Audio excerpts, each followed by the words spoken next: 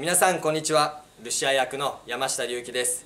僕は2.5次元に出させていただくのは初めてなんですけども、全力で頑張りたいと思います。それでは乙女ライブ猛獣使いと王子様12月14日から18日まで全8公演新宿村ライブで行います。皆さんお待ちしております。じゃあね